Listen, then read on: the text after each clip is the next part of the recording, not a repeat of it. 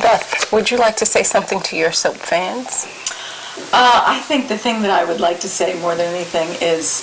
thank you, thank you, thank you for all the years of support and and there it really was what kept me going. And, and I think I'd mentioned to you off camera that